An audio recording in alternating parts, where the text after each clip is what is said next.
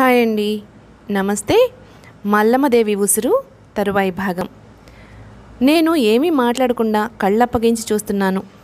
ఆమె ఆ గదిలో ఉన్న నన్ను కానీ లేక మరే ఇతర వస్తువుని కానీ చూస్తున్నదని నాకు అనిపించడం లేదు. ఏటో చూస్తుంది. ఆమెకు కనిపించే దృశ్యాలేమిటో నా ఊహకు అందలేదు. ఉచ్ఛ్వాస నిశ్వాసాలు దీర్ఘంగా ఉన్నాయి. పట్టి బలవంతాన ఊపిరి పీలుస్తున్నట్లుగా అనిపిస్తోంది. చివరకు ఎలాగో ధైర్యం కూడా తీసుకుని మహాదేవి అని పలకరించాను. మొదటి పిలుపు ఆమెకు అందలేదు. ఇంకొకసారి పిలిస్తే నా వంక చూసింది. రాణికి ఉండవలసిన టీవీతో అలవోకగా చూసింది. దామెర్ల ధర్మారాయుడు బాబాయిని పిలువు ఆజ్ఞాపించింది. బాలకవి బొబ్బిలి వచ్చారట. వారిని చూసేందుకు బాబాయ్ వెళ్ళారు అన్నాను. బాలకవి వచ్చారా? ఎప్పుడు? అడిగింది మిస్ మార్లిన్ ఆశ్చర్యంతో. రంగారావు గారిని చూడవచ్చారట అన్నాను. విమలాంగి పరిణయం పూర్తయిందా? అని అడిగింది మిస్ మార్లిన్. అదిరిపడ్డాను. ఈమె మిస్ మార్లిన్ కాదు. మహాదేవి మల్లమ్మ అని నాకు అనిపించింది. అనుమానము తీరిపోయింది. బాలకవి అసలు పేరు కొట్ర వెంకటేశ్వర్లు. వారికి బొబ్బిలి రాజులు ఎల్లవ రాజుల వలన గ్రామాన్ని అగ్రహారంగా ఇచ్చారు. బాలకవి అక్కడే ఉంటారు. ఆ ఊరు రాజాముకు దగ్గర. అప్పుడప్పుడు బొబ్బిలి వచ్చి రాజును పరామర్శించడం కవి కుటుంబానికి ఆనవాయితీ. ఆయన మాంధాత విమలాంగిల ప్రేమ కథ పెళ్ళిగా పరిణమించటాన్ని కావ్యంగా రాశాడు. ఈయన అడిదము సూరకవికి సమకాలికుడు.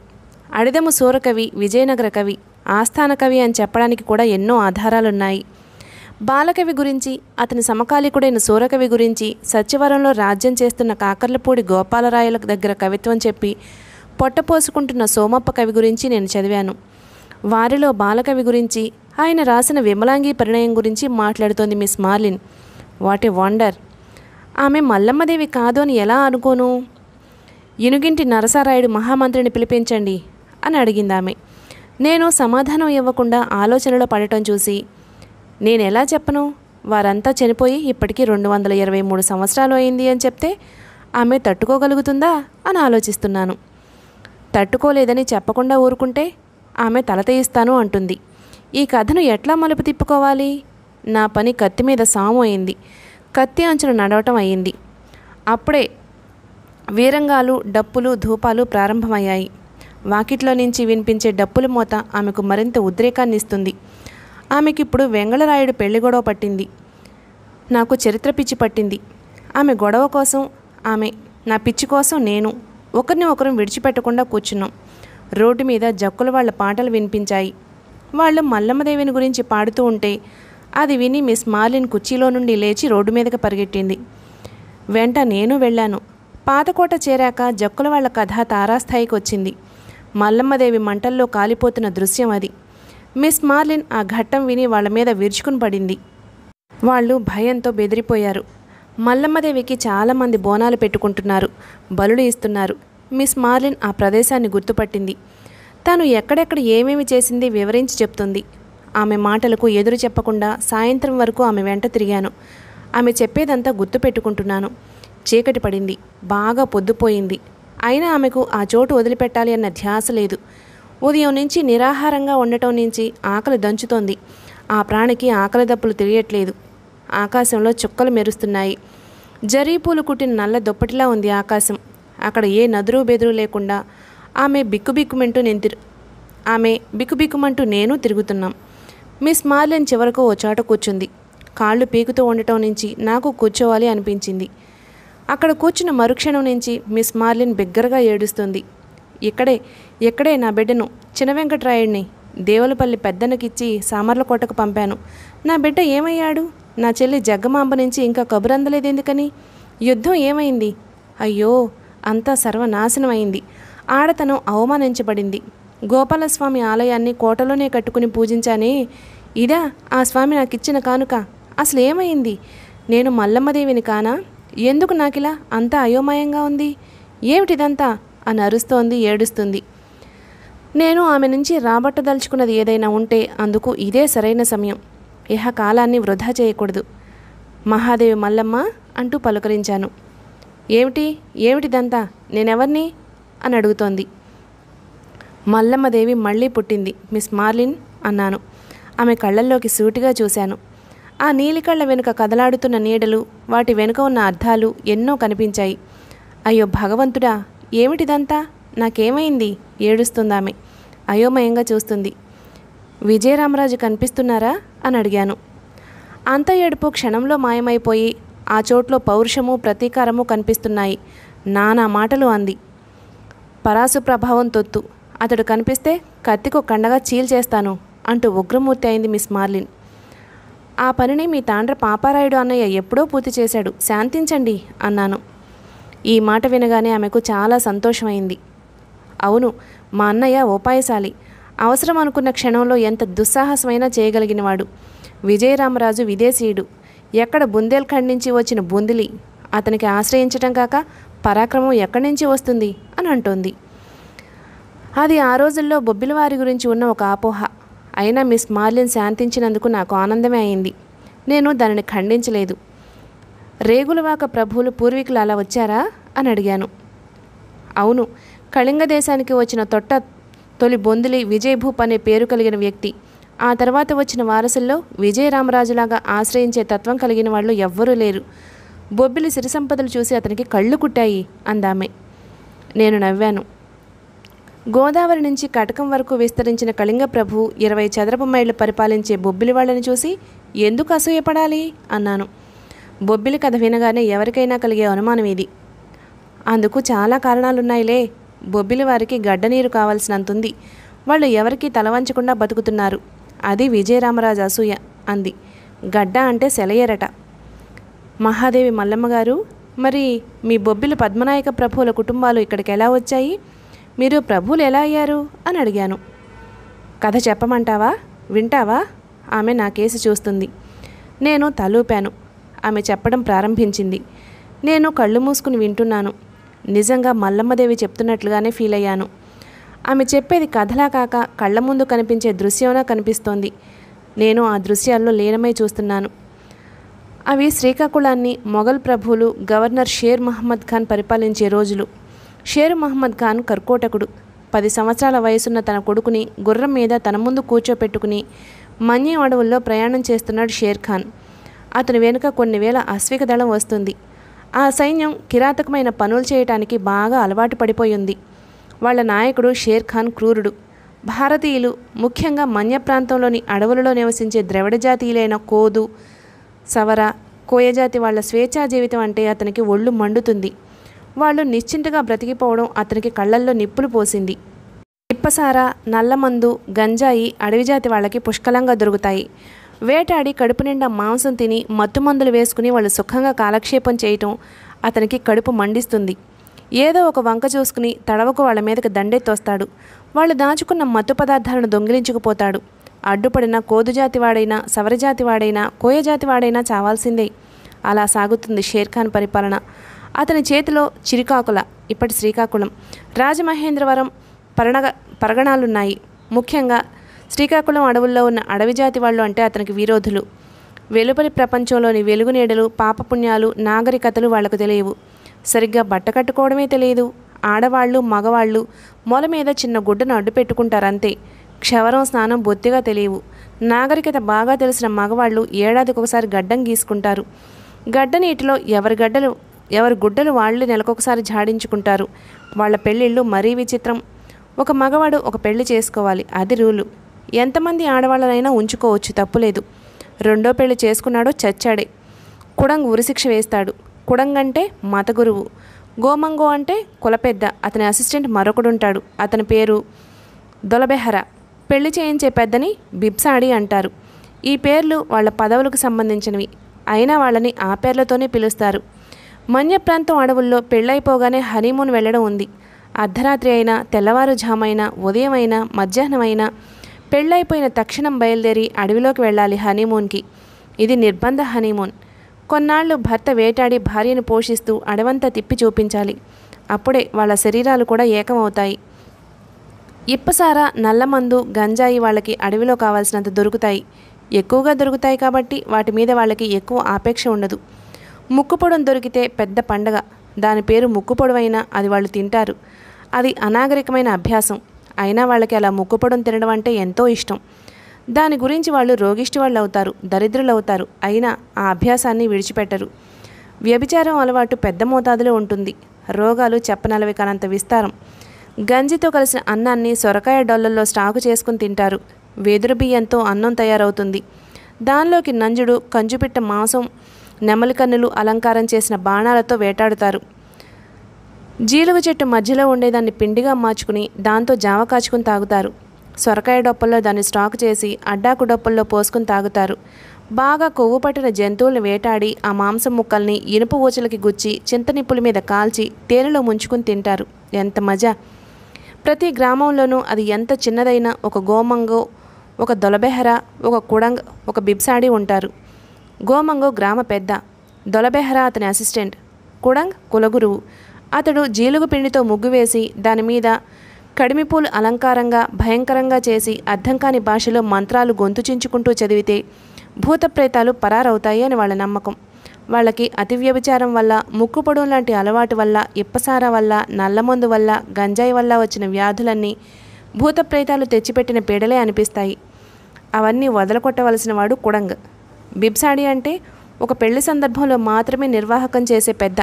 అలా బ్రతుకుతున్న కోదు సవర కోయజాతుల వాళ్ళని చూసి మొఘల్ ప్రభువుల గవర్నర్ షేర్ఖాన్ అసూయపడుతున్నాడు. వాళ్ళ మీదకి దండెత్తి వచ్చాడు వీరుడు. శిస్తు మాట దాని పేరు షేర్ ఖాన్ షేవకాస్కు తిరుగుతున్నాడని ఒక పెద్ద గ్రామంలో విడిది చేసి ఆ చుట్టుపక్కల పది మైళ్ళ దూరంలోపు ఉన్న గ్రామాల్ని నాశనం చేస్తున్నాడని వాళ్ళకి తెలిసింది.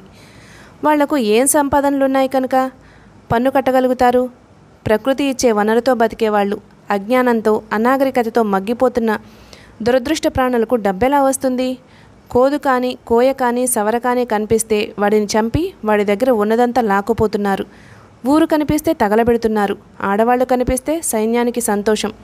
స్పృహ తప్పి పడిపోయాక కానీ ఆమెను విడిచిపెట్టిపోరు అల్లకల్లోలం అయిపోయింది. ప్రాణభయంతో అడవి జాతుల వాళ్ళంతా ఊళ్ళు విడిచి అడవిలోకి పారిపోతున్నారు. మృత్యువు వాళ్ళ మీద పడి విరుచుకుపడిందని వాళ్ళకి అనిపించింది. ఉన్నదంతా వదులుకుని పోతున్నారు. షేర్ ఖాన్ దారిలో దారిలోనే ఉంది రంగవాకం. పలాసలో విడిది చేశాడు అని రంగవాకంలో ఉన్న సవరలకు తెలిసింది. గోమాంగో అందరినీ పిలిపించాడు. నెగడు భగభగా మండుతుంది వాళ్ళ మనసుల్లాగే. అందరూ ఆయుధాలు పట్టి కూర్చున్నారు. వాళ్ళల్లో గోమాంగ కూతురు కూచిపోతి కూడా ఉంది. ఆమె కళ్ళు మండుతున్నాయి. ఒళ్ళంతా చింత నెగడులా కాలుతోంది ఉడుకుతోంది. మనసంతా పాలకొండ మీద నుంచి గడ్డ నీరు ధారలా దూకినట్టు ఆలోచనలతో నిండుంది. ప్రవాహం లాంటి ఆలోచనలు. గోమంగో పక్కన దొలబెహర ఈట పట్టుకుని నించున్నాడు. కుడంగ్ చింతయేరు మీద కూర్చున్నాడు. బిబ్సాడి పెద్ద రాయి మీద కూర్చున్నాడు. నెగడు చుట్టూ చతికిలబడి కూర్చున్నారు సవరలు. ప్రతి ఒక్కరి చేతిలోనూ మొరడు తరహా ఆయుధాలున్నాయి. గోమాంగో చెప్పాడు. ఓరన్న సవరబిడ్డలు ఇన్నారా ఈ చూద్దాం షేర్ ఖాన్ ఎత్తొచ్చిండు. పెసకస్స కట్టాలంట. పెసకస్స అంటే పేష్కష్ కట్టాలంట. సవరబిడ్డలతో సయ్యాటలా? వీడికి సవర రగతం అంటే సన్నీళ్ళు అనుకున్నాడా? ఈ తురకబిడ్డ. సవర కెంపోల మీద కొడతాడా ఈడు? సరసిమ వేయండు అనగా పలుకుతుండ. సరస సందాలు ఏతరగాళ్ళ రగతంలో దారాళమ్మ దేవత కాళ్ళు తడవాలా? లబోయిరినట్టు సవరలంతా లెగండి. పై పదాలన్నీ తురేనియన్ భాషా పదాలని మార్క్స్ ముల్లర్ రాశారు. అవి సవర భాషలోకి ఎలాగో వచ్చాయి. ఈటి పట్టండి పోటు మిగలండి అంటూ చెప్పాడు. కూచిపోతే రక్తం మరిగింది. చేతిలో ఈటను బిగించి పట్టుకుని ఆవేశంతో లేచి నిలబడింది. ఒరయ్యా సవరజాతి చిన్నదాన్ని ఒకే ఒక మాట చెప్పుకోవాలి. వినండి మనసంతా పెట్టి వినండి. షేర్ ఖాను అంటే బెబ్బులు కదా? పులిని చూసి సవరజాతి నంటోడు కూడా దడవడు? సారీ సంటోడు కూడా దడవడు? దాని పేరు పెట్టుకున్న ఈ కుక్కను చూస్తే భయమా? లెగండి షేరుఖాన్ రక్తంతో సవరణేలకు తిలకం దిద్దాం. లెగండి ఈటలు పట్టండి అంటూ వీరాలాపం చేసింది కూచిపోతి. ఆ మాటలు సవరల అధైర్యాన్ని పోగొట్టాయి. ఎవరికి అందిన ఆయుధం తీసుకుని వాళ్ళంతా యుద్ధానికి తయారయ్యారు. మగ సైన్యానికి దొలబెహర ఆడపటాలానికి కూచిపోతి న్యాయకత్వం వహించారు. సైన్యం బయలుదేరిపోతూ ఉంటే కుడం గడ్డొచ్చాడు. ఆగండి ఆగండి అంతా ఉరుకులు పరుగులేనా? ఆలోచన అక్కర్లేదా? షేర్ ఖాన్కు సైన్యం ఉండాది. మనసంతా మనమంతా నూరు మంది లేము. ఐదు వేల లెక్కలో ఉన్న షేర్ షేర్ ఖాన్ సైన్యాన్ని మనం ఎలా ఎదిరించాలో ఆలోచించండి. పరిగెత్తిపోతే పేనాలు పోతాయి. మీ మీదకి మారెమ్మ తోలింది షేరుఖాన్ని. మారెమ్మ తల్లిని మంత్రాలు చదివి పిలుస్తాను. ముగ్గేసి మారెమ్మను సల్లపరుస్తాను. అమ్మ తల్లి నా మంత్రాలు ఆలకించి అనుగ్రహం చూపుతాది. అమ్మ తల్లి అగ్ర ఇచ్చిందంటే షేరుఖాన్ చెప్పకుండా పోతాడు అంటూ చెప్పసాగాడు. ఈ మాయ మాటలు విని కూచిపోతికి ఒళ్ళు మండిపోయింది. మంత్రాలు చదివితే మారెమ్మ తల్లి పలుకుద్దా? అది నిజమైతే ఈ కుళ్ళిపోవడం ఎందుకు? వేట కొట్టలేని వాళ్ళకి అమ్మ తల్లి అన్నం తెచ్చి అయితే ఆకలితో సావలేందుకు? ఇవన్నీ ఒట్టి మాటలు మాయ మాటలు. సవరలు వాళ్ళ శక్తిని వాళ్ళు నమ్ముకుంటే తనకు కూడు ఉండదని ఈడు మంత్రం చేతన్నాడు అని ఆలోచించింది కూచిపోతి. చాలామంది సవరలు కుడంగ మాటలకు మంత్రముగ్ధులయ్యి ఆగిపోయారు. వేడి రక్తం చల్లబడిపోయింది. కాదు షేర్ఖాన్ ఉసురు తీయాలా. ఆడి రక్తంలో నేలతన్ని నుదురున నుదురిన తిలకం దిద్దాలా. నీ సప్పడి మాటలతో సవరజాతి పరువు తేకు అంటూ హుంకరించింది కూచిపోతి. ఆమె తండ్రి గోమంగా ఉరిమాడు. ఏ కోనా మాట పెంచి గీటు దాటావు. కుడంగంటే దైవాల కోన. ఆడికి అమ్మా పలుకుతాది అయ్యా పలుకుతాడు. ఇంతలో ముంచుకొచ్చిందేముంది? మంత్రాలతో మారమ్మని పిలవనియ్యి. అమ్మ ఆజ్ఞ అయితే ఆయువు పట్టాలా. తెలిసిందా? అంటూ కూతురు మాటల్ని ఖండించాడు.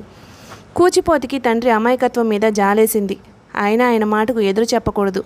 రంగవాక గ్రామంలో మలిపెద్ద అయినా ఎదురు చెప్తే ఎదురు చెప్తే కూతురు అయినా చూడరు తల తీయించేస్తారు. సవరులంతా చప్పబడిపోయారు. కుడంగ ఆవేశం తెచ్చుకుని అర్థం కాని భాషలో పెద్ద పెద్దగా మంత్రాలు అరుస్తూ అక్కడి నుంచి వెళ్ళిపోయాడు. రంగవాక గూడెంలో అందరూ ఎవరి గుడిసెలోకి వాళ్ళు వెళ్ళిపోయారు. కడలికెరటం ఉవ్వెత్తున లేచి విరిగి నేలకరిచింది కూచిపోతి గుండెలు కాలిపోతున్నాయి. కుడంగ్ అమ్మతలని పిలిచేలోపు షేర్ఖాన్ వచ్చి చేయవలసిందంతా చేసిపోతాడు అని ఆమెకు అర్థమైంది. ఆమెలోని సవర రక్తం మరిగింది. ఎలాగైనా రంగవాకను రక్షించాలి. ఆమె కళ్ళు విశాలమయ్యాయి. తన మాట వినేవారిని అందరినీ ఒక్కొక్కరిని నిద్రలేపింది. కూచిపోతితో వాళ్ళంతా కలిసి పదిహేను మంది అయ్యారు వాళ్ళ చేతుల్లో కాగడాలు ఆయుధాలు ఉన్నాయి.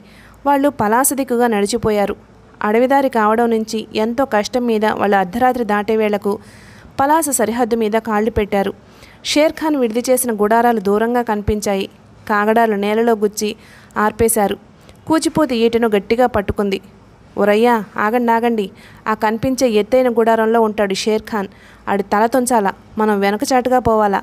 ఆడి తల నేల మీదకి దొర్లేంత దాకా మనం అలికిడి చేయకూడదు.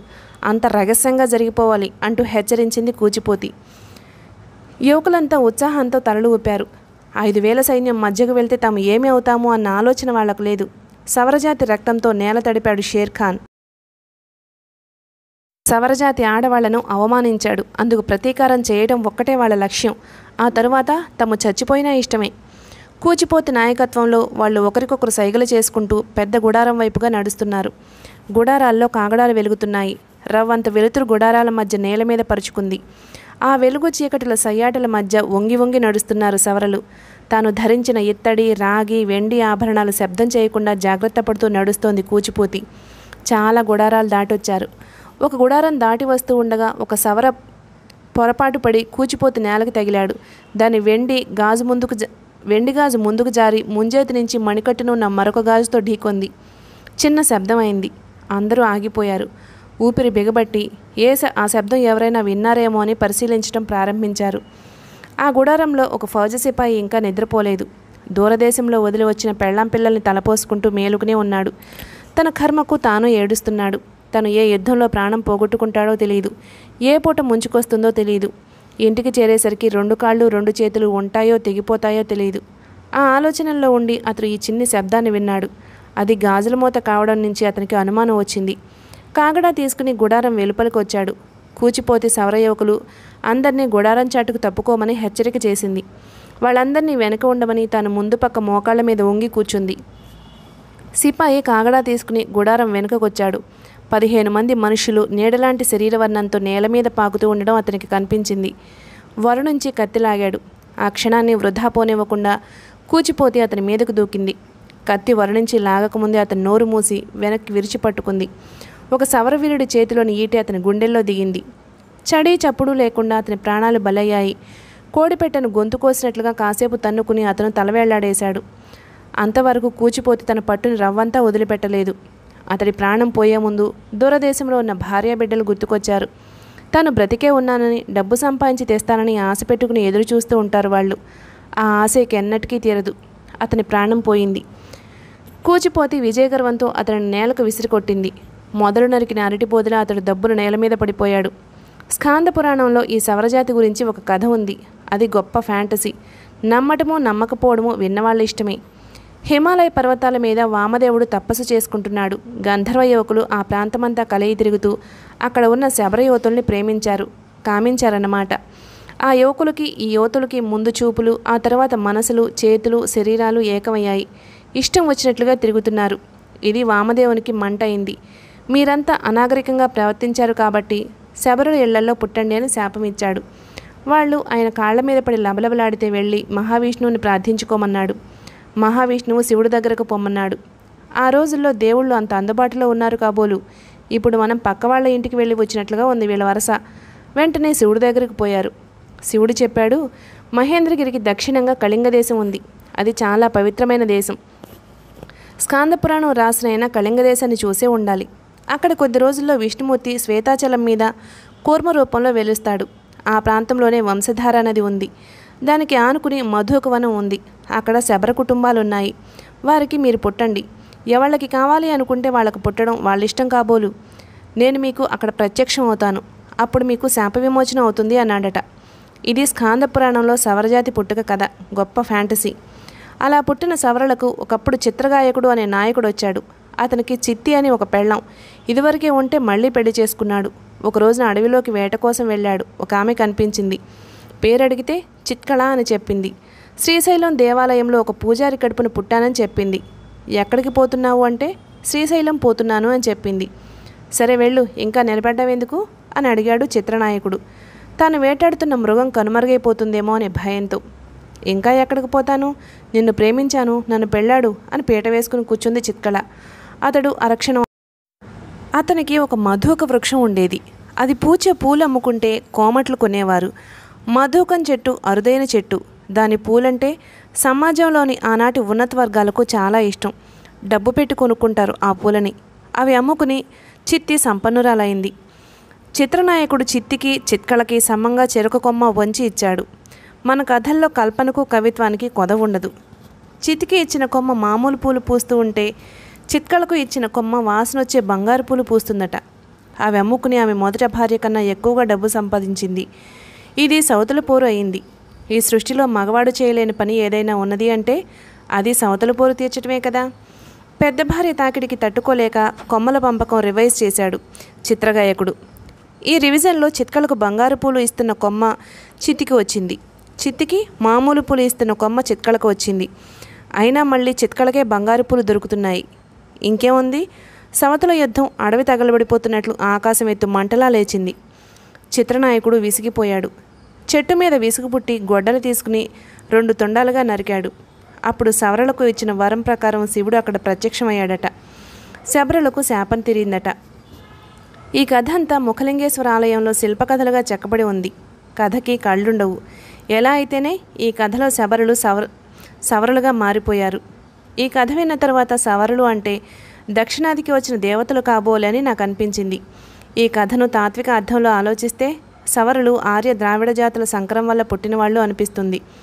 శంకరో నరకాయైన అని గీత చెప్పినట్లు పాపం వీళ్ళు నాగరికతకు దూరంగానే మారుమూల అరణ్య మార్గాలలో నరకప్రాయమైన జీవితంలో ఉన్నారు. అయితే వీళ్ళకి దక్షిణార్చులైన అనార్యులు ఉండవలసిన స్వేచ్ఛా ప్రయత్నము ఔత్తరాహులైన ఆర్యులకు ఉండవలసిన ముగ్ధ నైపుణ్యము రెండూ ఉన్నాయి. వాళ్ళ ప్రతినిధి కూచిపూతి. అనుకున్న విధంగా ఆమె తన పదిహేను మంది పటాలంతో పెద్ద డేరాల వైపుగా దూసుకు వెళ్ళిపోయింది. ఎవరైనా సడివిని వచ్చి చూడబోతే కిక్కురుమని శబ్దం కాకుండా వాళ్ళని చంపుతుంది. పెద్ద డేరాలో అప్పుడే గానా బజానా ఆగిపోయింది. అందరూ అలసి సొలసి అస్తవ్యస్తంగా పడి నిద్రపోతున్నారు. డేరాకు వెనుకవాటంగా వెళ్ళి చురుకుతో దాన్ని చీల్చింది కూచిపూతి. ఆమె లోపలికి వెళ్ళింది. మిగిలిన సవరలు డేరాను చుట్టుముట్టారు. డేరా ముందు కాపలా ఉన్నవాడిని నిశ్శబ్దంగా చంపేశారు. కూచిపోతి లోపలికి వెళ్ళి షేర్ ఖాన్ మొహమ్మద్ ఖాన్ని తట్టి లేపింది. అతను కళ్ళు విప్పి ఎదురుగా ఇంతెత్తున నల్లగా జుట్టు విరబోసుకుని ఉన్న కూచిపోతిని చూసి నీరైపోయాడు. లేవబోయాడు. ఆమెతో పాటు గుడారంలోకి వచ్చిన సవర యువకుడు పదునైన ఈటిని షేర్ ఖాన్ నిలువు గుండెల మీద ఆనించి నిల్చున్నాడు. రవ్వంత బరువు ఆనిస్తే ఈట కస్సును దిగి గుండెల్ని చీల్చేస్తుంది. ఏం కావాలి మీకు? అరిచాడు షేర్ ఖాన్. ష్! ఓలోని బిడ్డ అరవమాక. బాగా బలసిన పందులను చీల్చే ఈట అది. అదుపులో ఉండు అంటూ తలాగరవేసింది కూచిపూతి. ఆమె మాట్లాడుతూ ఉంటే తల మీద అలంకరించిన బాతు ఏకులు విచిత్రంగా ఊగుతున్నాయి. మెడ మీద నుంచి గుండెల మీదకు వచ్చిన రాతి వెండి కడియం ఆమె ఆవేశానికి ఎగిరిపడుతుంది. ఆమెకు పెళ్ళి కాలేదు. అవుతుంది అన్న ఆశ కూడా లేదు. ఎందుకంటే సవరజాతి యువకుడు పెళ్ళి చేసుకోవాలి అనుకున్నప్పుడు తను ప్రేమించిన అమ్మాయి తల్లిదండ్రులకు పూసలు ఇప్పసార మాంసము తీసుకువెళ్ళి ఇవ్వాలి. అవి వాళ్ళు తీసుకుంటే పెళ్ళికి ఒప్పుకున్నట్లవుతుంది.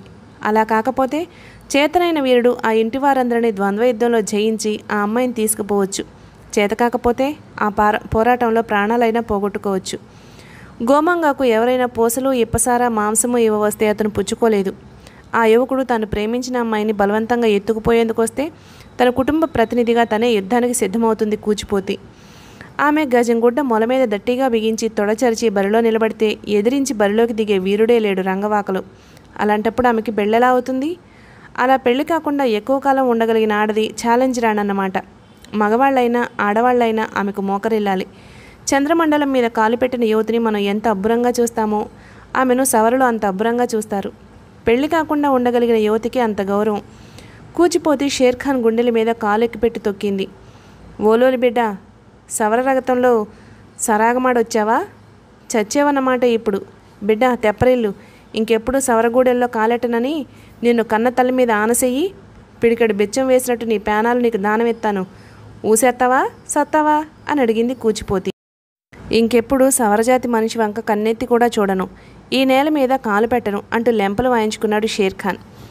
తీరా పోతూ ఈటి తీయి ఆడి పేనాలు అడిగి దానమియ్యి అంది కూచిపోతి. ఆ అవకాశాన్ని తీసుకుని మెరుపులా లేచాడు షేర్ఖాన్ ప్రాణభయంతో అరుచుకుంటూ పోయి గుడారాల మధ్య మాయమయ్యాడు. కూచిపోతికి మతిపోయింది. మరుక్షణంలో మొత్తం సవరల ప్రాణాలు పోతాయి అని ఆమెకు అర్థమైంది. మెరుపు లాంటి ఒక ఆలోచన వచ్చింది ఆమెకు. అదే గుడారంలో మరొక పక్కన మరొక మంచం మీద ఆదమర్చి నిద్రపోతున్న పసికందును ఎత్తి భుజాన వేసుకుంది. ఆమె చుట్టూ సవరలు దడికట్టారు. అందరూ కలిసి గుడారం దాటి యువతలకు వచ్చేసరికి సైన్యం వాళ్ళని చుట్టుముట్టింది. షేర్ ఖాన్ తన కొడుకు సవరల పితూరీల పరమైపోవడం చూసి తల్లడిల్లిపోయాడు. సైన్యాన్ని ముందుకు పోవద్దని ఆదేశించాడు. అతడు ఎన్నో యుద్ధాలలో గ్రామాల మీద పడి అనేక దురంతాలు చేశాడు. పాలు తాగుతున్న పసిపిల్లల్ని అలాగే తల్లి ఒడిలోనే నరికేశాడు. పాలిచ్చే తల్లుల రొమ్ముల్ని కోశాడు. బాధతో వాళ్ళు విలువలా తన్నుకుంటూ ఉంటే ఆనందించాడు. తనతో బంతులాట ఆడాడు. కానీ తన ఒక్కగానొక్క కొడుకు సవరల చేతిలో చిక్కేసరికి ఎన్నడూ కలగనంత బాధ అతనికి కలిగింది. దుఃఖం అంటే ఏమిటో తెలిసింది. ఓరోరి బిడ్డ మంచికిపోతే మాయ చేస్తావా? అడుగు ముందుకు పడిందంటే అయిపోతాడు నీ గుంటడు. అంటూ పిల్లవాడి మెడ మీద ఈట ఆనించింది కూచిపోతి. ఎవ్వరూ ముందడుగు వేయలేదు. అందరూ చూస్తూ ఉండగానే సవరలంతా చీకట్లో కలిసిపోయారు. ఆ మన్నాడే గూడాల మీద పడి దోచుకు తింటున్న తన సైన్యాన్ని వెనుకకు పిలిపించి సవరలతో రాజీ ప్రారంభించాడు షేర్ ఖాన్. ఇటువంటిదే మరొక సంఘటన జరిగితే తన ప్రాణాలకు అపాయం కలుగుతుంది అని అతనికి తెలిసింది. వెంటనే అక్కడి నుంచి పేష్కష్ మాట దేవుడెరుగు. వచ్చిందారి పట్టాడు. మళ్ళీ శ్రీకాకుళం పోయాక తన కొడుకును తిరిగి తెప్పించుకునే ప్రయత్నాలు ప్రారంభించాడు. బహుమతులు ప్రకటించాడు. షేర్ ఖాన్ మన్యావుడులు వదిలిపోయాడు అని తెలిసాక కూచిపోతి పిల్లాన్ని తీసుకుని అడవుల్లో నుంచి రంగవాక వచ్చింది. తనకు పితూరు అనే ఒక బిరుదు వచ్చినందుకు విరగబడి నవ్వుకుంది. కుడంగ ఒక ప్రచారం ప్రారంభించాడు. తను ముగ్గు వేసి అమ్మతలని పిలిచానని ఆమెను కూచిపోతిలో ఆవేశింపచేసి పిల్లాన్ని పట్టుకునేలా చేశానని చెప్పి అమాయకుల్ని నమ్మించాడు.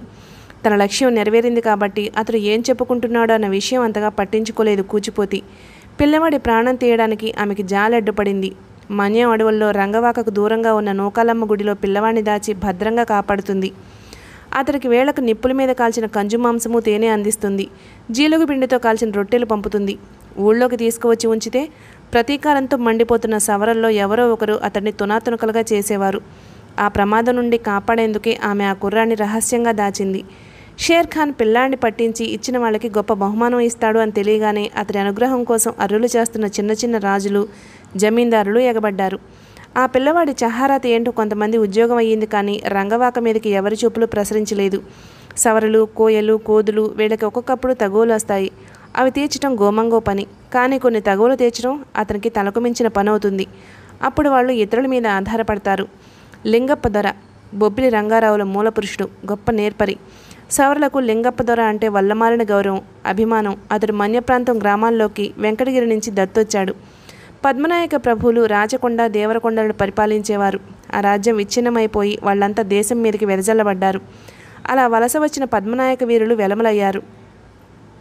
వెంకటగిరి పద్మనాయకులది రాజరక్తం. మన్య అడవుల్లోనూ రాజరక్తం కలిగిన పద్మనాయకులున్నారు. ఎలా వచ్చారో ఇక్కడ స్థిరపడ్డారు. వీళ్ళ కుటుంబాలలో ఎవరికైనా సంత లేకపోతే వెంకటగిరి నుంచి దత్తు తెచ్చుకుంటారు కానీ మరొక చోట తెచ్చుకోరు. అలా దత్తు వచ్చిన పద్మనాయక యువకుడే లింగప్ప దొర. మంచి ఆలోచనాపరుడు. చుట్టుపట్ల గ్రామాల్లో గొప్ప తీర్పరిగా పేరు పొందాడు. నిలువెత్తు మనిషి. ఇంతింత రెట్ట ఇంతింత కళ్ళు ఇంత వెడల్పున ఛాతీ వింత వింత చూపులు ఎత్తైన నుదురు పెద్ద ముక్కు చెవుల మీద ఇంతింత పొడవు వెంట్రుకలు కాలికి వెండి కడియం కిర్రు చెప్పులు పొన్నుకర్ర దృఢత్వము అందము కలబోసినట్లుండే మనిషి. అంగ చాచి వేశాడంటే గజంన్నర్ర చెవి మీద వెంట్రుకల బారులు తీరిన సైనికుల్లా కనిపిస్తాయి. కనురెప్పలు డొప్పల్లా ఉంటాయి. ఆ డప్పుల మాటను అధికంగా తేనె సేవించడం వల్ల మిలమిల్లాడుతున్న కోడిదూడ కళ్ళ లాంటి కాటుక కళ్ళు ముక్కు మీద నుండి జుత్తులోకి వెళ్ళిన ఎర్రని బొట్టు చెవులకు రాళ్ళ పోగులు చంగావి పంచి ఒత్తుగా పెరిగిన నుదుటి వెంట్రుకలు ఇది ఆయన ఆకార విశేషం. పల్లెవాటి వేసుకుని పొన్నుగర్రబట్టి నడుస్తూ ఉంటే నేల అదురుతుంది. గొంతు విప్పి మాట్లాడితే జలపాతం వినిపిస్తుంది. తప్పు చేసిన వారి ముఖంలోకి చూస్తే ఎంతటి వాడైనా గుండె దడదళ్ళాడుతుంది నిజం కక్కించాలంటే ఆయన సూటిగా చూస్తే చాలు. లింగప్ప దొరకి షేర్ఖాన్ చేసిన ప్రకటన తెలిసింది. సవరులు పలాస సమీపం అడవుల్లోనే అధికంగా ఉన్నారు. వాళ్ళ గూడాలకు ఏకైక తీర్పరి లింగప్ప దొర. ఆయనను చూస్తేనే వాళ్ళు వంగి వంగి నడుస్తారు. లింగప్ప దొర ఈ ప్రకటన వినగానే కలికి కాలికి చెప్పులు వేసి చేతికి కర్ర ఇచ్చి తలకు కుచ్చితలపాగా చుట్టి బయలుదేరాడు. ఆయన కోడి కూతకు లేచి బయలుదేరితే భోజనం వేళకు నలభై మైళ్ళు నడుస్తాడు. భోజనం చేసి రవ్వంత నడుము వాల్చి పొద్దు తిరిగాక బయలుదేరితే మళ్ళీ భోజనం వేళకు ఇల్లు చేరుకుంటాడు. రోజుకు ఎనభై మైళ్ళు పాదయాత్ర చేయగలిగిన హార్స్ పవర్ కలవాడైన. ఐదారు సవరగూడాలను చూశాడు. వాళ్ళ దగ్గర పిల్లవాడి జాతకం తెలియలేదు. కుల పెద్దలు అటువంటి ఆచూకీ దొరికితే తప్పకుండా తెలియచేస్తామో అని హామీ ఇచ్చి గూడెం వెలుపల వరకు ఆయనను సగౌరవంగా సాగనంపారు. తండ్రి తప్పు చేస్తే పిల్లవాడిని దండించడం ఏమిటి అన్నది ఆయన తర్కం. ఇటువంటి పెద్ద మనిషి తరహా ఆలోచన భారతదేశాన్ని నిర్వీర్యం చేసి పరాయి రాజుల పాలనకి గురి చేశాయని కొందరంటారు అది నిజమో కాదో కానీ ఇందువల్ల శత్రువులకి అసలు చిక్కే మాట నిజం. సారీ అలుసు చిక్కే మాట నిజం. దేశాన్ని దోచుకుని ప్రజల్ని హింసించి కొట్టి నరికేస్తూ అక్కడి వాళ్ళని అవమానిస్తూ ఉంటే వాళ్ళ విషయంలోనూ ధర్మబద్ధంగా ఆలోచిస్తారు హిందువులు. అది మంచితనం కావచ్చు బలహీనత కావచ్చు దానివల్ల నష్టాలే అధికం కావచ్చు. మన వాళ్ళు ఆ ఆలోచనను విడిచిపెట్టరు. ఇప్పటి కాలం వేరు. ఇప్పటి ఆలోచనలు వేరు. ధర్మం కన్నా ఆకలి తీర్చుకోవడం ముఖ్యం. లింగపదురు ఆలోచిస్తూ రంగవాక వచ్చాడు. అల్లంత దూరాన ఉండగానే దొరను చూశారు సవరులు. ఆగ మేఘాల మీద వాత గోమంగోకు చేరింది. గోమంగో వెంటనే దొలబెహర గుడంగలకు వెంట పెట్టుకుని ఎదురొచ్చాడు. సాగిలపడ్డాడు లింగప్పదరును ఆహ్వానించి గూడెంలోని తమ గుడిసెల దగ్గరకు తీసుకుపోయాడు. తన ధర్మాసనం మీద లింగప్పదరును కూర్చోపెట్టి తాను తన సహచరులతో పక్కన వినయంగా నిలబడ్డాడు. ఏమి దొర వచ్చినావు? గోమంగో వినయ విధేయతలతో అడిగాడు. సవరలంటే సామాన్యులు అనుకున్నాను మీ పేరు మొగలు పాదుషాకు చేరింది. మీసం సవరిస్తూ అన్నాడు లింగప్ప ధర. గోమంగో మీసాల చాటు నుంచి నవ్వాడు. మామూలుగా అయితే మీసం సవరించేవాడే. ఎదురుగా ఉన్నది దొరకబట్టి అంత పని చేయలేదు. అతడు అమాయక ప్రాణి. ప్రకృతి ఒడిలో పుట్టి ప్రకృతి ఒడిలో పెరిగినవాడు. కల్లా కపటం తెలియనివాడు. మాటను మాటను పెట్టుకోగల ఎర్- పెట్టుకోవడం ఎరుగడు. వెంటనే బయటపడిపోయాడు. కుర్ర కుంకలు చేసిందొరా ఐదు వేల సైన్యంలోకి జొరబడి గొప్ప సాహసమే చేసిండ్రు. అమ్మ తల్లి దయ సల్లగున్నది. లేకుంటే గుంటలు అక్కడే ఉసుర్లు వదిలేయాల్సింది అంటూ అసలు సంగతి బయటపెట్టాడు. లింగప్ప ఆశ్చర్యపోలేదు. ఇలా వచ్చింది ఆ కథ? అనుకున్నాడు. లింగప్ప అనుభవంలోనూ ఊహలోనూ కూడా వాళ్ళ మూర్ఖులు. వాళ్ళతో ఎంతో జాగ్రత్తగా మాట్లాడాలి. ఏ పని చేయాలన్నా మానాలన్నా కూడా కులకట్టు అనే మాట వాళ్ళ నోటి వెంట రాకుండా చూసుకోవాలి. ఆ మాట వాళ్ళ నోటంట వచ్చిందంటే ఇహ ప్రాణమైనా ఇస్తారు కానీ మాట మార్చుకోరు. బ్రహ్మంతవాడు చెప్పినా వినరు. ఆ గుంటడిని చంపేయాలి అని కులకట్టు నిర్ణయం అన్నారంటే ఏ ఫాలాక్షుడు కూడా వాళ్ళని వెనక్కి మళ్ళించలేడు. అది మంచి పనైనా చెడ్డ పనైనా ఎంత క్రూరమైన ఘోరమైన పనైనా చేసి తీరతారు. అందునుంచి వాళ్ళ కులకట్టు పరిధిలోకి ఈ కుర్రాడి వ్యవహారం రాకుండా తప్పించుకుంటూ మాట్లాడాలి. లింగొప్ప వ్యవహారం తెలిసిన బుర్ర కాబట్టి ఇవన్నీ ముందుగా ఊహించి ఆ దారి తప్పించి మాట్లాడాడు. కుర్ర కుంకలు కాక పెద్దవాళ్ళు అన్నీ తెలిసిన వాళ్ళు ఎందుకు చేస్తారు ఇటువంటి పని? నువ్వు నేను చేయమంటే చేస్తావా? తండ్రి తప్పు చేస్తే కొడుకుని శిక్షపాలు చేయటం తప్పు కాదు. ఇటువంటి పనిని అమ్మతల్లి కోపగించుకోదు అంటూ మెల్లగా అంటించాడు నిప్పు. అది రాజుకుని మంట అయింది. ఆ మంటలు అలా అలా పెరిగి వ్యాపించి కూచిపోతే ఆశల్ని వ్యక్తిత్వాన్ని అవి కాల్చేశాయి.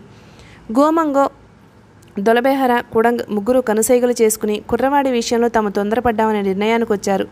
కూచిపోతే అడవిలోకి వేటకు పోయింది. ఆమె మామూలుగా వెళ్ళే దారుల వెంట మనుషుల్ని పంపారు. ఆ వెళ్ళిన వాళ్ళు చేతులూపుకుంటూ తిరిగి వచ్చారు కూచిపోతే జాడ తెలియలేదు. ఆ పూట లింగప్ప దొర రంగవాంకలో మకాం వేయక తప్పలేదు.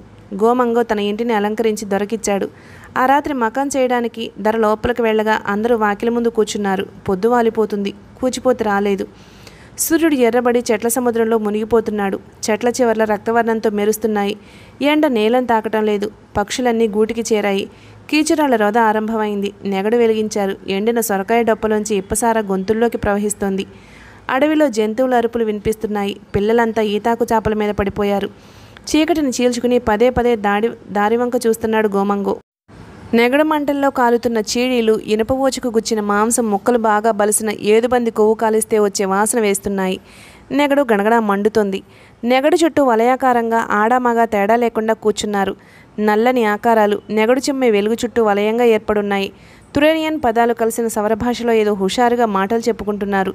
కీచు గొంతులతో గుక్కలు గుక్కలు పట్టి నవ్వుకుంటున్నారు. అతి చిన్న పరిధిలో వాళ్ళది ఆనందమయ ప్రపంచం. ఇప్పసారాతో కైపెక్కిన యువకులు తమ జంటల్ని రెక్కపట్టుకుని చీకట్లోకి లాక్కుపోతున్నారు. ఇదంతా లింగప్ప చూసే దృశ్యం. గోమంగో లింగప్పధరకు ఆహారం పంపాడు. ఒక అడ్డాకు డొప్పలో చింతనిప్పుల మీద ఒక అడ్డాకు డొప్పలో చింతనిప్పుల మీద ఎర్రగా కాల్చిన కుందేలు మాంసం ఉంది. సొరకాయ డొల్లలో తేనె పంపాడు. ఆ తేనె కూడా మాంసాహారంతో సమానమైంది. ఎందుకంటే తేనె పట్టు మీద ఈగలకు పొగపెట్టి అవి లేచిపోయాక బాగా పాకానికి వచ్చిన గుడ్లతో సహా మొత్తం పట్టుని పిండి ఆ తేనె తీస్తారు. తేనెతో పాటు తేనెటీగల గుడ్లల్లో ఉండే తెల్లని జిగురు వంటి పదార్థం కూడా కలుస్తుంది. వాసన వెగటు కానీ మామూలు తేనె కన్నా ఎక్కువ రుచినిస్తుంది. మరొక ఇప్పసారా డొల్ల వచ్చింది. మరొక అడ్డాకు డొప్పులో జీలుగు పిండితో కాల్చిన రొట్టెలు వచ్చాయి. లింగప్పదొర తిన్నది ఏదో తిన్నాడు లేనిది లేదు. ఆ తిండి నాగరికులు తినగలిగింది కాదు కానీ పుష్టికరమైన తిండి. నెగడు చుట్టుపక్కల నుండి చాలా జంటలు లేచిపోతున్నాయి చీకట్లోకి. ఖాళీ సొరకాయ డొల్లలు నేల మీద పడున్నాయి. అవే వాళ్ళ గిన్నెలు అవే వాళ్ళ బిందెలు అవే వాళ్ళ చెంబులు చషకాలు. రంగవాక మీద విరుచుకుపడిన గాఢాంధకారాన్ని నెగడు మంటలు జయించలేక సిగ్గుతో వాటి ముఖం ఎర్రగా కందిపోయింది. ఆ వేళప్పుడు వచ్చింది కూచిపూతి. ఎలా వచ్చింది? మొగ మీద గజం గుడ్డపేలిక కొప్పు ముడిజారి జుట్టు వీపంతా పరుచుకుపోయింది. ఒక చేతిలో చెవుల పిల్లి చెవులున్నాయి. కుందేలు కిందకి వేళ్ళాడుతుంది ఒక చేతిలో ఈటి ఉంది. నల్లని ఎత్తైన ఆకారం ఆచ్ఛాదన లేని వక్షం. చన్మనులు సూదుల్లా పొడుచుకొచ్చాయి. శరీరంలోని దృఢత్వానికి అది కనిపించే గుర్తు. రెక్కలు మగవారికి లాగా కళ్ళు పద్మిని జాతి స్త్రీకి ఉన్నట్లు తామర తూడుల్లా లేవు. వస్తాదు రెక్కల్లా ఉన్నాయి. తొడలు కండలు తిరిగి ఇనుప ముద్దల్లా ఉన్నాయి కానీ అరటి స్తంభాల్లా లేవు. పిక్కలు ముద్దకట్టి ఉన్నాయి. పెటపెటలాడుతుంది. నడిచొస్తోంది కూచిపూతి. యథాలాపంగా అడుగులు వేస్తూ సరాసరి నెగడి దగ్గరకు వచ్చింది కుందేలు మెడను మెలిపెట్టి దానిని నెగడి మీద వేసింది. కాసేపు కాలేక ఈటి మొనగుచ్చి బయటకు తీసి కొరుక్కును తింటుంది. ఎవరో సారాయిడొల్ల అందిస్తే గటగటా తాగుతుంది. ఓసోసి కోన దొర లింగప్ప వచ్చిండు పసుకోనను పట్టియి అన్నాడు గోమంగు. కూచిపోతి ఒప్పుకోలేదు. దొలబెహర చెప్పాడు. తిప్పికొట్టింది కుడంగ చెప్పేదంతా విని థూ అంది. ఎలా అడవి వదిలేస్తే సేరుకాయ రేపే దండెత్తొస్తాడు. సారీ షేర్ ఖాన్ రేపే దండెత్తొస్తాడు. అప్పుడు కుక్కల్లా చావాలి తెలిసిందా? అని వాదించింది. అమ్మ తల్లిని ముగ్గేసి పిలిచాను. ఆ తల్లిదైతే నువ్వు పిల్ల గుంటడిని తీసుకురాగలవు. తల్లి ఆనా అయింది. అడవి అప్పగించు ఆడిని అప్పగించు. ఎక్కడున్నాడో చెప్పు అని అడిగాడు కుడంగ్. నేను చెప్పను అంది కూచిపోతి. కుల పెద్దగా ఇనుకో అన్నాడు గోమంగో ఆమె తండ్రి. ఆమె తండ్రి మాటలను కూడా లెక్క చేయలేదు. అడవి విడుదల ఇస్తేనే సవరజాతికి ఇలయం. ఇలయం వచ్చినట్లే జాతిని నా ప్రాణం ఉండగా అట్లా కానయ్యను అని ఎదురు తిరిగింది. గోమంగో హెచ్చరించాడు. నేను కుల పెద్దను. కట్టడి దాటితే కత్తికి బలైపోతావు అని. అయినా కూచిపోతి వినలేదు. నా ప్రాణం ఉండగా సవరజాతి నశింపు నేను చూడలేను అని ఎదురు తిరిగింది. గోమంగో కత్తిమొన ఆమె గుండెల మీద ఆంచాడు. కోనా నాకు కడుపు కొత్త సేకే. గుంటజాడిగాడు చెప్పు అన్నాడు. కూచిపోతి నోరు విప్పలేదు. సొరకాయడలలో ఉన్న సారా మొత్తం రాక్షసిలా గడగడా తాగేసి నోరు మూసుకుంది.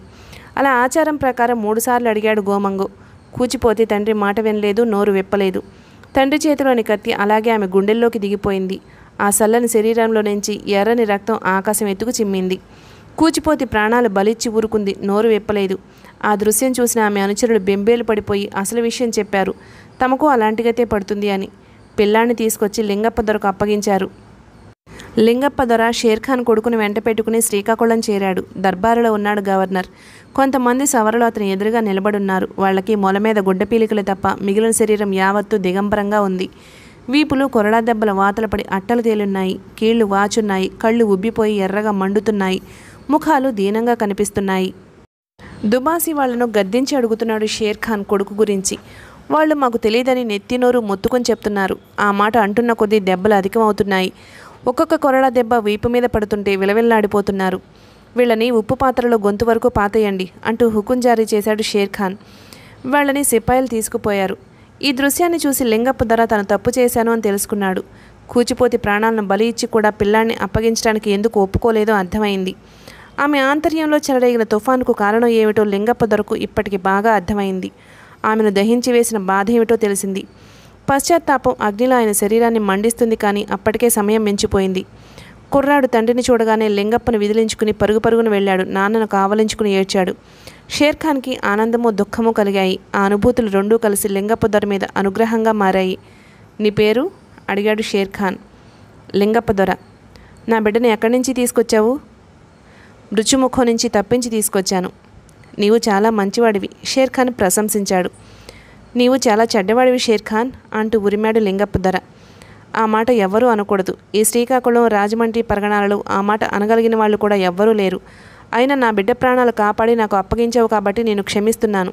నీకు దయాభిక్ష ఇస్తున్నాను అని గడ్డం దువ్వాడు షేర్ఖాన్ దయాభిక్ష నీకే నేను ఇచ్చాను షేర్ఖాన్ వెలమదొర చేయి చాచడు. నీ దయ నాకు అక్కర్లేదు అంటూ మీసం దువ్వాడు లింగప్ప ధర. మరేం కావాలి? నీకు బందీలుగా చిక్కిన సవరాల్ని విడిచిపెట్టు. లేకపోతే నువ్వు ఒక్క వరహా డబ్బును కూడా శిస్తు రూపంలో వసూలు చేయలేవు అంటూ సవాల్ విసిరాడు లింగప్ప ధర. అందకుండా పోయాడు అనుకున్న కొడుకు అంది వచ్చేసరికి షేర్ ఖాన్ సంతోషంలో ఉన్నాడు.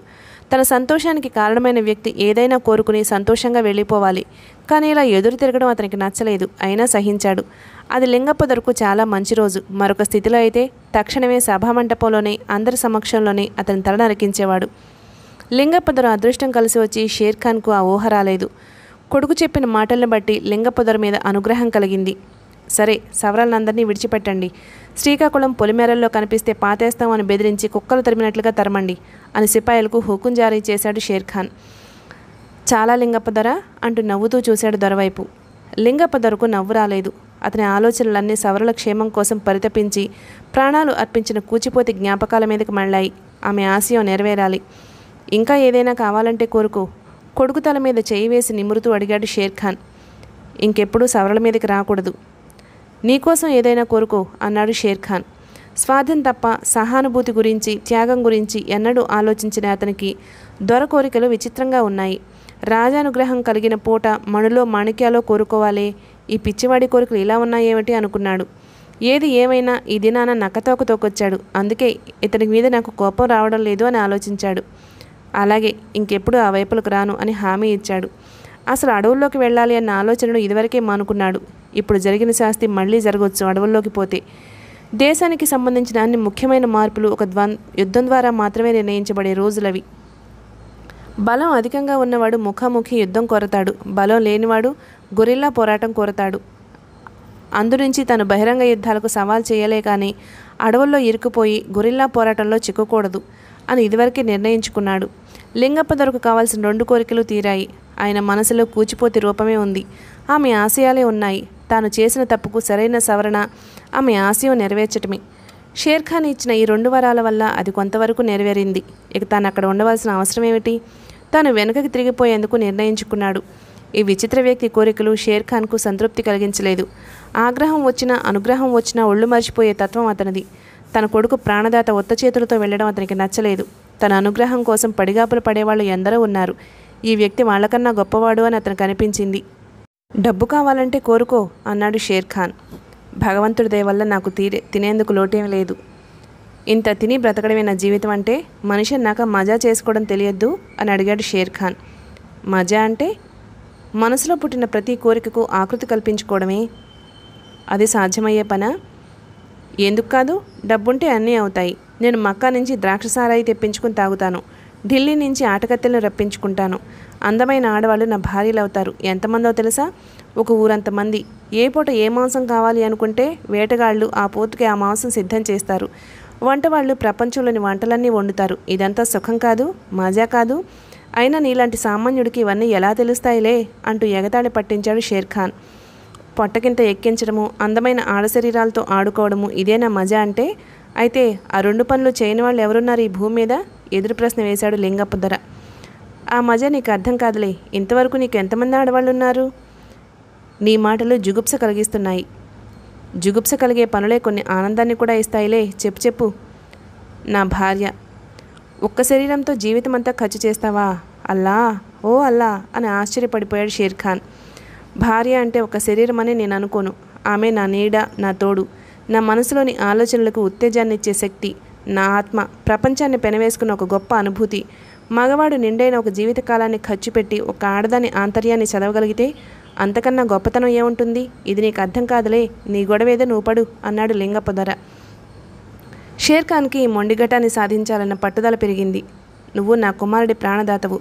ఈ రోజుకు నా అతిథిగా ఉండు అంటూ లింగప్పను వెనక్కిపోకుండా కట్టివేశాడు. లింగప్ప దొరకు అతని ఆతిథ్యం వెనుక ఆంతర్యం ఏమిటా అన్న ఆలోచన రాలేదు. సాధారణమైన మర్యాదగా దానిని అంగీకరించాడు. హిందువులకు పట్టిన ఈ తలతెక్క ఆలోచనలు వదిలించడం ఎలా? వాటి స్వరూపం ఏమిటో లింగప్ప ద్వారా అర్థం చేసుకోవాలి అన్న కోరిక కలిగింది షేర్ఖాన్కి. అతనికి మరొక కొత్త తరహా క్రీడా వినోదం అయింది. మనసుతో నిమిత్తం లేకుండా కొన్ని వందల శరీరాల్ని మరణం చేసినవాడు ధర్మాధర్మాలతో నిమిత్తం లేకుండా కొన్ని వందల తలలతో బంతులాడినవాడు షేర్ ఖాన్ అతనికి లింగప్పతో ఆడుకోవడం ఎంత పని? కానీ లింగప్ప హిందూ ధర్మానికి ప్రతినిధి. హిందూ ధర్మంతో ఆడుకోవడానికి సాహసించాడు. చరిత్ర ఎన్నోసార్లు ఎందరినో నియంతలను ఎన్నో గుణపాఠాలు నేర్పింది. అయినా చరిత్ర పునరావృతం అవుతుంది. ఖాన్ కొడుకు కోసం పరితపిస్తున్న జనానాలోకి కొడుకుని పంపేశాడు. లింగప్ప చేయి పట్టుకుని సగౌరవంగా స్నేహపూర్వకంగా లోపలకు తీసుకుపోయాడు. సేవకులకు లింగప్ప ధర నాతో సమానం అనే అభిప్రాయం కలిగే విధంగా ప్రవర్తించసాగాడు ఖాన్. లోపలి గదులు విశాలంగా దర్జాగా ఉన్నాయి. క్రిస్టల్ షాండ్లియర్స్ ఒక్కొక్కటి లక్షల ఖరీదు చేస్తాయి. వేలు కాదు లక్షలు. లింగప్ప ఆలోచించాడు. ఈ దేశ సంపదను సృష్టిస్తున్న వాళ్ళు అద్దనా కూడా ఖరీదు చేయని ఆముదం ప్రమిదలతో కాలం వెళ్ళదీస్తున్నారు. ఈ దేశాన్ని దోచుకుంటున్న వాళ్ళు లక్షలు ఖరీదు చేసే క్రిస్టల్ షాండ్లియర్స్ వెలిగించుకుంటున్నారు. దీని పేరేమిటి? దోపిడీ కాదు అవును. నేల మీద రత్నకమ్మడి లాంటి తివాచి పరిచుంది. దాని అంచులతో వెండి బంగారు జరీతో కుట్టిన పూలున్నాయి. ఖరీదైన బల్లలు కుర్చీలు అమర్చున్నాయి. ఖాన్ సరాసరి తన స్వంత గదిలోకి నడిచాడు. ఆ గదిలోకి ఎవరికీ ప్రవేశం ఉండదు.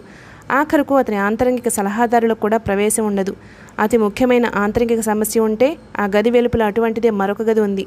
దానిలో చర్చలు జరుగుతాయి కానీ ఈ గదిలోకి ఎవ్వరికీ ప్రవేశం లేదు. సేవకులకు తప్ప. లింగప్పని తీసుకుని ఆ గదిలోకి వచ్చాడు ఖాన్. ఆ గదిలో మాటలతో వర్ణించడానికి వీలు కాని వస్తువులు అనేకం ఉన్నాయి. పాలరాతి బొమ్మలున్నాయి రత్నాలున్నాయి వజ్రహారాలున్నాయి మణిదీపాలున్నాయి. సింహాసనం బంగారం పూతవేసి ఉంది. రన్స్ రన్సెల్లాలున్నాయి వెండి మంచం మీద పట్టుపరుపులు ముఖమల్దేళ్ళు ఉన్నాయి. చైనా పింగాణి పళ్ళాలు పాత్రలు ఉన్నాయి. వాటి మీద బంగారం కరిగించి చిత్రించిన బొమ్మలున్నాయి. బంగారు చిలంతో హుక్కా ఉంది. బంగారు చషకాలు అచ్చమైన స్ఫటికంతో తయారు చేసిన అచ్చమైన పాత్రలు ఉన్నాయి. సారీ. ఆ గదిలో అద్భుతమైన శృంగార చిత్రాలున్నాయి. దంతంతో చేసిన బొమ్మలున్నాయి. ఇంకా ఎన్నో ఉన్నాయి. ఉమర్ ఖయ్యం బాగా డబ్బున్నవాడైతే ఎటువంటి గదిలో ఉంటాడో అటువంటి గదిలా ఉంది ఖాన్ స్వంత గది. ఆ గదిలోకి తీసుకుపోయి సింహాసనం మీద కూర్చోమని లింగప్ప దొరకు ఆదేశించాడు ఖాన్. దొర సింహాసనం మీద కూర్చుని మీసం దువ్వాడు. తలుపుల దగ్గరగా వేశాడు ఖాన్. నేను తలుచుకుంటే నిన్ను రాజును చేయగలను అన్నాడు దొరతో. నేను రాజును కావడం కన్నా నీ రాజ్యాన్ని నువ్వు ధర్మగుణంతో పాలిస్తే ఎక్కువ సంతోషిస్తాను అంటూ బదిలిచ్చాడు దొర. మొండివాడు దైవం కన్నా దండి బలవంతుడు అన్న సత్యం ఖానుకు రుజువుపరుస్తున్నాడు దొర. ఖాన్ పట్టుదల పెరిగిపోతుంది.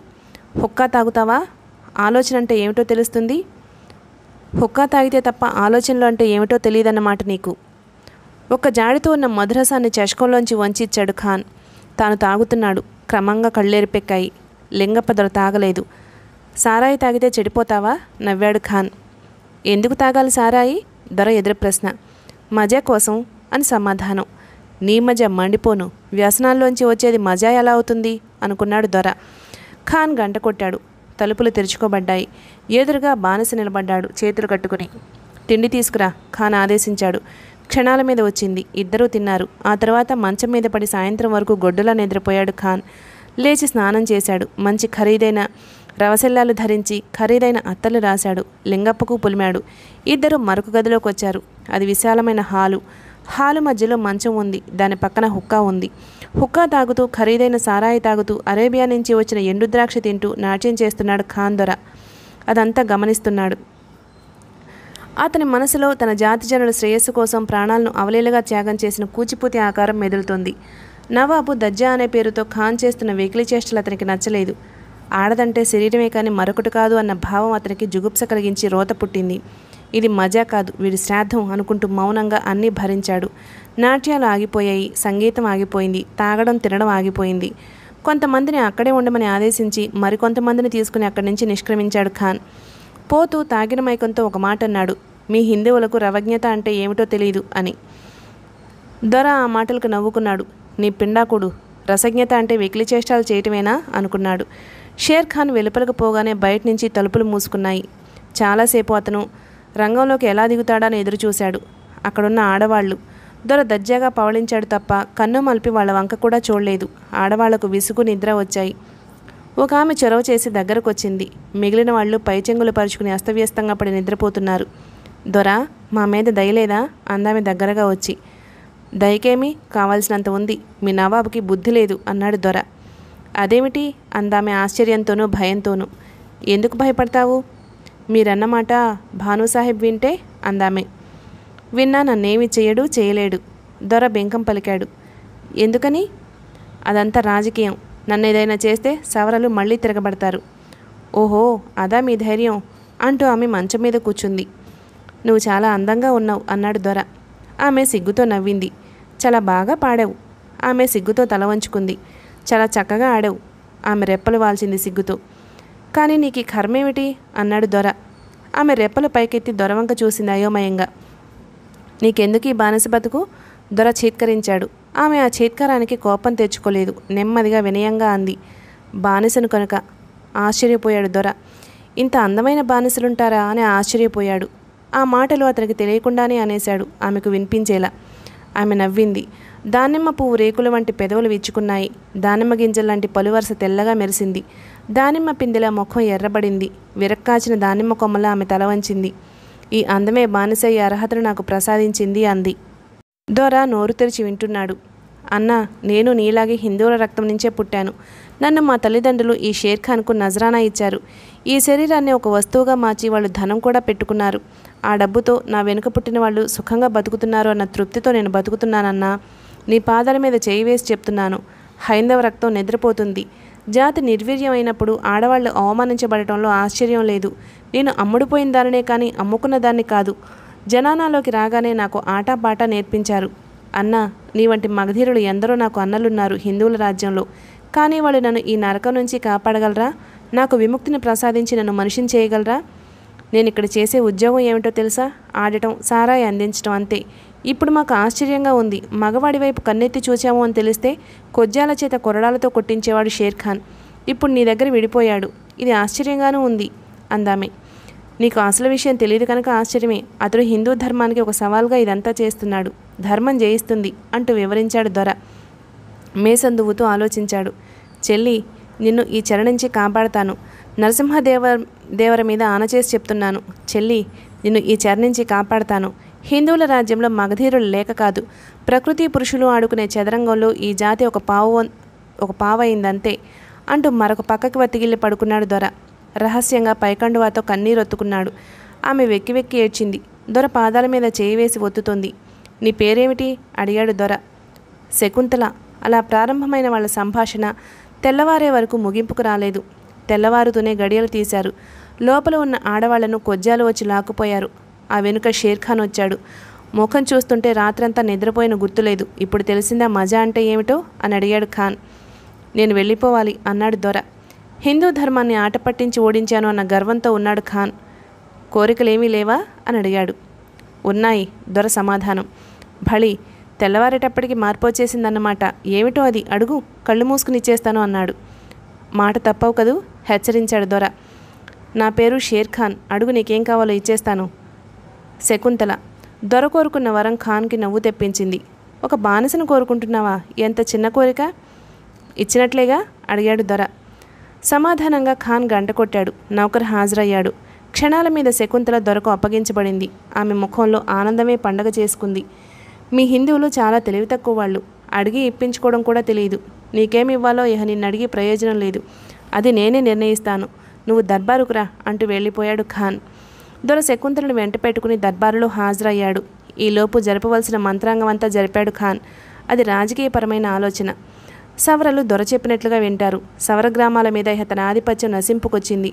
వాళ్ళకు దుష్టుడైన ఈ లింగప్ప ఆ గ్రామాలు ఇస్తేస్తే స్వాతంత్రం ఇచ్చినట్లు ఉంటుంది. గ్రామాల మీదకి దండయాత్ర చేయకుండా తన ఆదాయం తనకి దొర ద్వారా అందుతుంది. ఇది సులువైన దారి అని అతనికి వజీర్లు సలహా ఇచ్చారు. అతనికి ఊహించని బహుమానం ఇస్తూనే తన సమస్యకు పరిష్కారం వెతుక్కున్నాడు ఖాన్. ఇహ నుంచి తనకు పితూరీల బాధ లేదు అని హాయిగా ఊపిరి పీల్చాడు. సభలోకి రాగానే లింగప్ప దొరను ఆశ్చర్యపరిచాడు. లింగప్ప రంగారావు దొరకు స్వాగతం అన్నాడు. లింగప్ప దొరకు సామంతరాజుల వరుసలో స్థలం ప్రత్యేకించారు. అక్కడ కూర్చోవలసింది అని అడిగారు. లింగప్పది రాజరక్తం రాజటీవీ వచ్చింది. ఏమిటిది? అని అడిగాడు దొర. ఇహ నుంచి నీవు రంగవాత పరిసరాల్లో ఉన్న పన్నెండు గ్రామాలకు రాజువు. నీ రాజ్యం వైశాల్యం ఇరవై చదరపు మైళ్ళు. నీకు రంగారావు అనే బిరుదు ఇస్తున్నాను. ఈ బిరుదు నీకే కాక నీ వంశం వారందరికీ ఉండేలా గుర్తిస్తూ ఆజ్ఞలు జారీ చేశాను అంటూ ఆజ్ఞాపత్రాన్ని అందించాడు ఖాన్. దాని వెనుకనున్న రాజకీయం లింగప్ప రంగారావు ధరకు అర్థమైంది. కానీ ఆ సవర గ్రామాలు తన కిందకు వస్తే తనకు తెలియకుండా ఖాన్ వాళ్ళ మీదకు రాలేడు వాళ్ళని హింసించలేడు. కూచిపోతి ఆత్మబలిదానం ఈ విధంగా వాళ్ళకు స- తోడ్పడింది కాబోలు. త్యాగానికి మూల్యం కూచిపోతి ప్రాణం అయితే ఫలితం స్వేచ్ఛ అయింది. ఇది సంతోషించదగ్గ పరిణామమే అని ఆలోచించి ఆ ఫర్మానాన్ని స్వీకరించాడు లింగప్ప రంగారావు దొర. ఘనమైన సన్మానాలతో సామంతరాజులకు ఇచ్చే గౌరవ పురస్కారాలతో ఆయనకు వీడ్కోలు ఇవ్వబడింది. శకుంతల ఆనందానికి అవధులు లేకుండా పోయాయి. ఆచార్యులు గారు బొబ్బిలి రాజ్యస్థాపన అలా జరిగింది. ఆ రాజ్యం సరిహద్దుల మీద రేగుల వలస ఇప్పటి విజయనగరం రాజ్యం ఉంది. అది సువిశాలమైంది. వాళ్ళ మూలపురుషుడు మాధవవర్మ. చరిత్రలో ఉన్న నలుగురు మాధవవర్మల్లో ఎవరో తెలియదు అతనికి కుమిలి భోగాపురం ఫిర్కాలు ఇరా ఇజారాగా ఇచ్చినాయి. తరువాత అది సామంతరాజ్యం అయ్యింది. బొబ్బిలి కథకు ఇది నాంది ప్రస్తావన మాత్రమే. అసలు కథ ఇక నుంచి మొదలవుతుంది అని చెప్పింది మిస్ మార్లిన్. ఆమె గుండెల నిండా ఊపిరి పీల్చి క్షణం విశ్రాంతి కోసం ఆగింది. బొబ్బిలి కథ వినాలి అన్న ఆతృతతో ఆపాటి ఆలస్యాన్ని కూడా నేను భరించలేకపోయాను. మిగిలిన కథ తర్వాయి భాగంలో విందాం. Please subscribe my channel. Thank you.